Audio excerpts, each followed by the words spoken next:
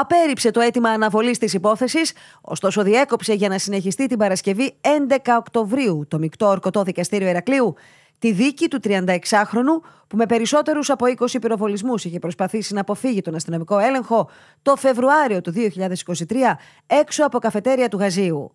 Ο 36χρονος αντιμετωπίζει κατηγορίες για 7 κακουργηματικές πράξεις, μεταξύ αυτών της απόπειρας ανθρωποκτονίας κατά συρροή.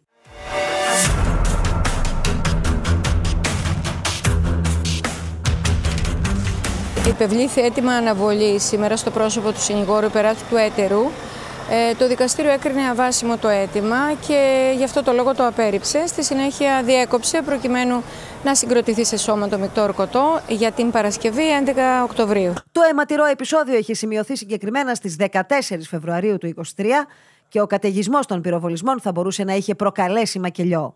Ώρες μετά τους πυροβολισμούς, έντρομοι κάτοικοι της περιοχής προσπαθούσαν να συνέλθουν από το σοκ, καθώς ο δράστης, προκειμένου να αποφύγει τους αστυνομικούς που τον παρακολουθούσαν και βρήκαν την ευκαιρία να προσπαθήσουν να τον ακινητοποιήσουν έξω από καφετέρια που είχε σταματήσει για να πάρει καφέ, άνοιξε πυρ, βάζοντας σε κίνδυνο τη ζωή πολλών ανθρώπων, αφού το περιστατικό είχε σημειωθεί μέρα μεσημέρι. Είναι 7 τα κακουργήματα που αντιμετωπίζει ο κατηγορούμενος. Ε, σε βαθμό κακουργήματος οι απόπειρες ανθρωποκτονίας σε βάρος ε, των αστυνομικών, οι οποίοι δήλωσαν παράσταση προς υποστήριξη κατηγορίας.